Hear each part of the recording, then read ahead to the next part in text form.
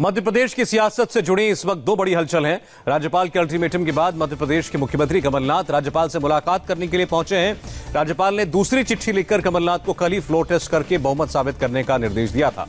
अब कमलनाथ गवर्नर से मिलने आए हैं। उधर भोपाल से मानेसर के लिए आ रहे बीजेपी के विधायक भोपाल में ही रुक गए हैं। एयरपोर्ट पहुँचने के बावजूद बीजेपी विधायक वापस लौट गए। राज्यपाल के पत्र के बाद बीजेपी ने अपने विधायकों को भोपाल में ही रोकने का फैसला कर लिया है।